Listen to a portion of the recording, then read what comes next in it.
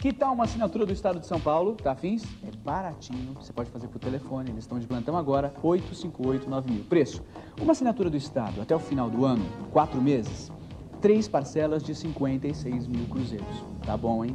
Três de 56 mil. E o que é melhor, você pode fazer a sua assinatura com o cartão de crédito.